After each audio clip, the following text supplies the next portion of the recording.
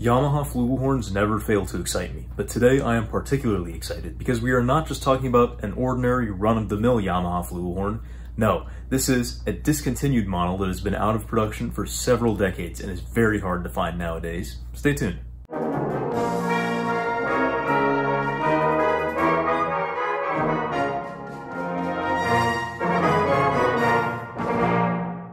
How's it going everybody? It's Sam here from the Samuel Plays Brass channel. I appreciate you tuning in today and I hope you're all doing well. We've got a very special review coming up and I know I say that a lot, but I'm not blowing any smoke today because this is indeed a very special instrument that you don't see too often that I was really, really impressed by.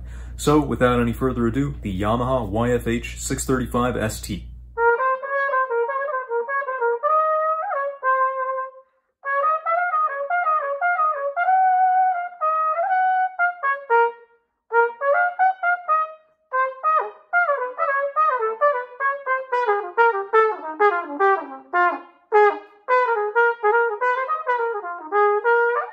We'll now dive in and take a closer look at the Yamaha 635 Flugel. This is a really beautiful instrument. We'll see it's the 635S variant because of this beautiful silver plate. It's aged very well, and we just gave it a polish here at Clearwater, which is why I've got these marching band gloves on. But in any case, we know this is a very old Yamaha because it doesn't have the Yamaha logo on the bell anywhere. The bell is just a clean slate, which I find kind of funny about these older Yamahas. Where you do find the logo is on the lead pipe there. You get the tuning fork logo in Yamaha, Japan. It's got a standard uh, screw to adjust the lead pipe for tuning on the instrument. We've got a lyre holder coming out of the valve section and three water keys on the instrument, one on the main branch, one on the third slide, and one on the first slide. The third slide has a trigger, so it's the ST variant, but the trouble is it's not quite the fastest right now and the paddle is tiny. That paddle, when I hold the instrument, is only really being operated by, of all the things, my left hand ring finger, probably my weakest of the 10 digits. And so that's really suboptimal at the moment. I suppose you could get a larger paddle fitted onto that if you wanted, uh, and I probably would were I to own this instrument. Anyway, there aren't a ton of necessarily striking features about the Yamaha 635 ST, but it's definitely a really cool horn and I wanted to show off some of its beauty here. Back to you, Studio Sam. At first glance, or rather first Google, I suppose, the 635 seemed like a pretty well-kept secret. I could not find nearly the same wealth of knowledge online about it as I had been able to prior about the Model 631, which is its more common cousin. I've actually reviewed the Model 631, you can find that up in the card. But nonetheless, as far as the 635 went, the trail was running cold fast. There was no mention of it either in Yamaha's official log of discontinued models or in the unofficial external reference that I tend to use on trumpet history because it seems to just have all the models and specs just succinctly listed right there, except for the 635, and that was really frustrating. The most I could find online initially about the 635 was a few forum posts on Trumpet Herald, where it seems that some pros of the trumpet sphere kind of quietly swear by it and nobody else really seems to know about it. That was unsatisfying. Eventually, I stumbled upon a resource that let me know that the 635 was actually the predecessor to and was later developed into the Model 6310, which is different from the 631. I know, it only gets more confusing from here, but you can find the 6310 also up in the card.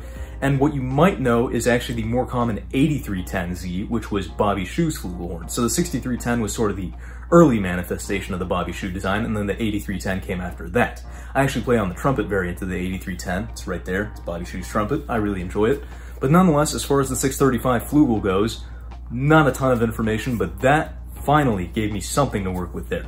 I also ended up finding out that the 635 is based on early Couesnon and French Besson flugelhorns, which tend to sound a little bit more diffuse and soft in nature than some modern flugelhorns on the market. But nonetheless, the 635 was built on that small French bore of 0.413 inches, as opposed to the 631 and 731 bore, which is 0.433, or sort of a medium bore in the flugelhorn market. The 635 also has a 6-inch bell flare, and the bell is made from yellow brass, although I shudder to think how dark it would sound with a rose brass flare. And one key difference from the Couesnon and French Besson models is that it does not have a Euro taper shank. The shank on this instrument is a standard large US Morse taper, and in fact it is one of the largest tapers you'll find on the market. Yamaha lead pipes swallow their mouthpieces. It's weird, but that's just a feature of Yamaha's. As is typical of higher end Yamaha flugelhorns, the 635 is just stupidly easy to play. It's a very agreeable instrument as far as flugelhorns go. You can just hand the reins off to it and it pretty much does the work for you. I found myself having to corral it a fair bit less than the 631 I reviewed, even though I really enjoyed the 631.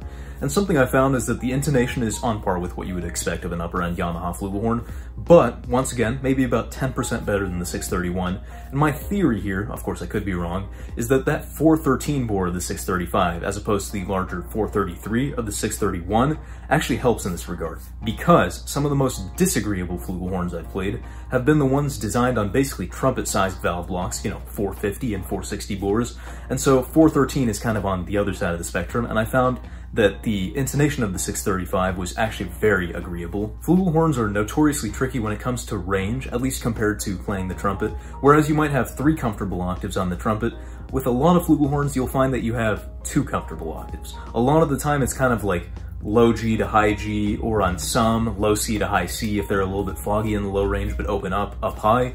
The 635, all the way from low F sharp to high D or E, is just totally on lock basically three comfortable octaves.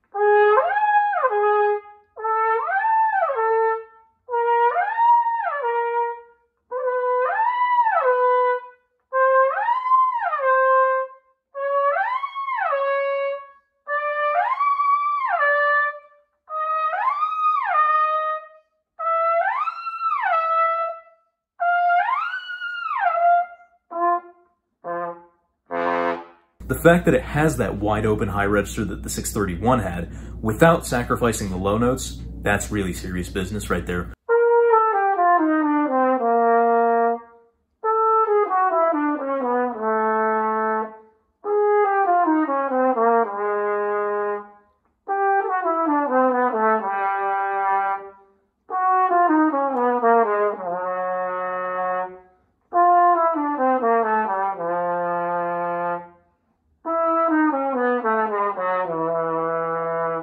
All the way down to the pedal tones even. It's just great.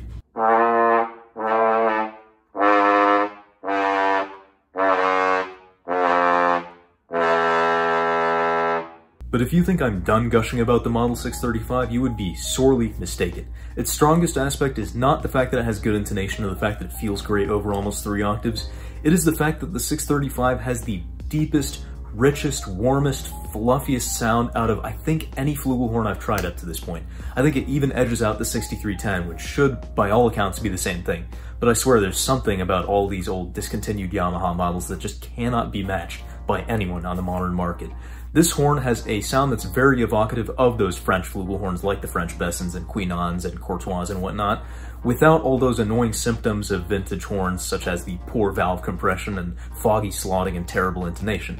It combines the Yamaha playability with that really desirable sound.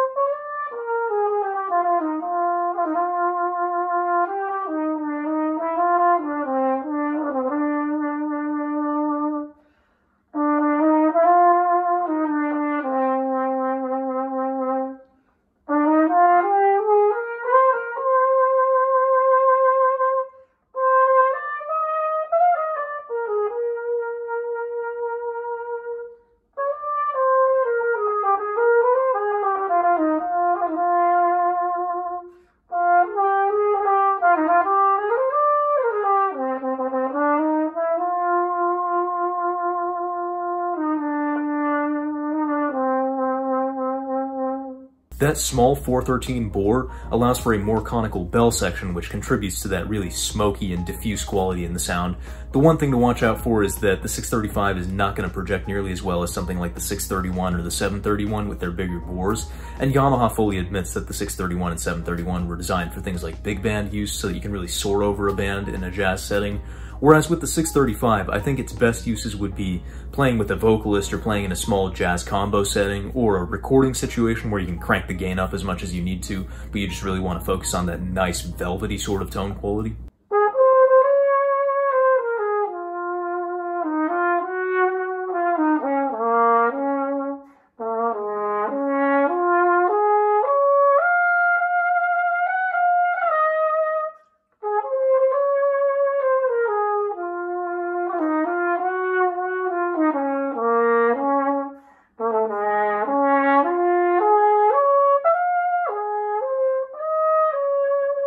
I'm aware that the 635 isn't for everybody. I think a lot of people wouldn't find it to be their cup of tea for jazz band or brass band settings and would say that it doesn't project super well, and that's probably part of why we don't see nearly as many 635s floating around as we do 631s and 731s. But for jazz combo or for matching the same subtlety of tone of non-brass instrumentalists or vocalists, I really can hardly think of anything better than the 635.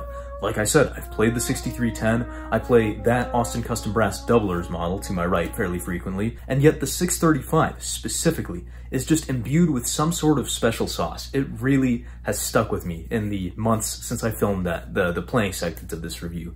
I've really enjoyed doing this review and I hope you have as well. In any case, until next time, you can find more instrument reviews in the top right corner in the card, and we'll see you on the flip side.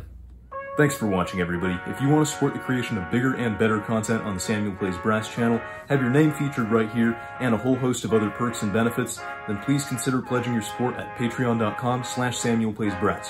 For now, you can find more videos in the end screen cards to my left.